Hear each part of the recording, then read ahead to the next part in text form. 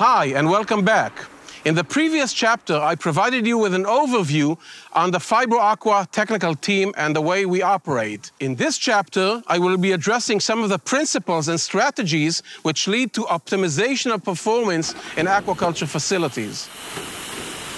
The number one goal of, for us is obviously to maximize the immune competence of the animals in the culture facilities. We expect our animals to withstand disease. All of us are aware of the fact that our animals are in dense conditions, are stressed continuously, whether chronic stress or acute stress. We expect them to grow. We expect them to grow fast. It needs to be very clear. I say this as a veterinarian. I do not expect these animals to be free of infectious disease.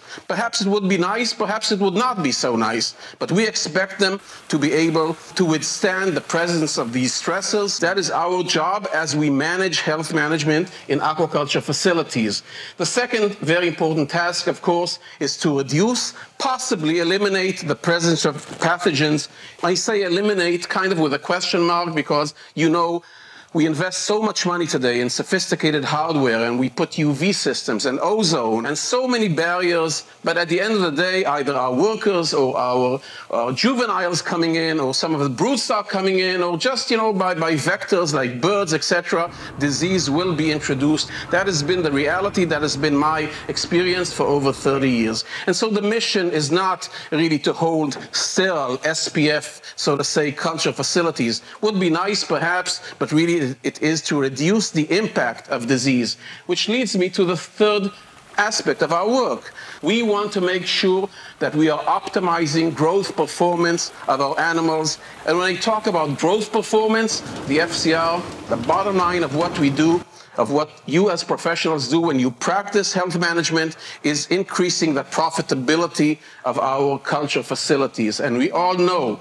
as we intensify, as aquaculture intensifies, you need to consider a much broader concept when we talk about health management. Yes, Preventing disease is obviously critical, but providing the right feed formulation, making sure water quality is optimal, choosing the right genetics of the animals that we bring into our facilities. This is a long list of aspects, a long list of management procedures, which together will provide good health management of these procedures.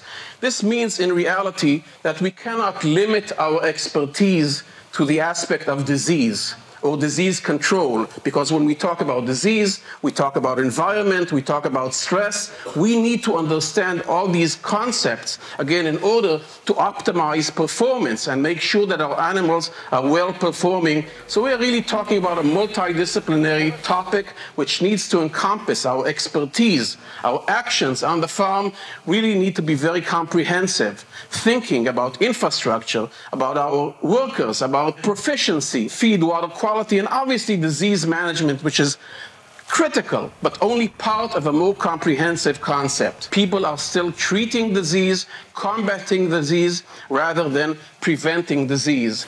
Anytime we choose to treat disease versus prevent disease, the outcome of this effort will not be as effective. Any financial investment which we will be putting into prevention will translate to a lot more dollars at the end of the production than treating existing disease on your farm. So prevention, prevention, prevention. And I have here a picture of one of our employees vaccinating fish. Vaccination is obviously a classic example of disease prevention, probably among the best preventive measures which we can recommend, which we can implement, and we are implementing vaccination today in several species and many parts of the world. Us, as professionals, we need to focus on preventive measures which relate to management of our facilities. And I will be touching on this aspect, going from the topics of prevention into the actual visit on the farm. What is it that we do? A practical approach, as I call it, to health management of aquatic facilities.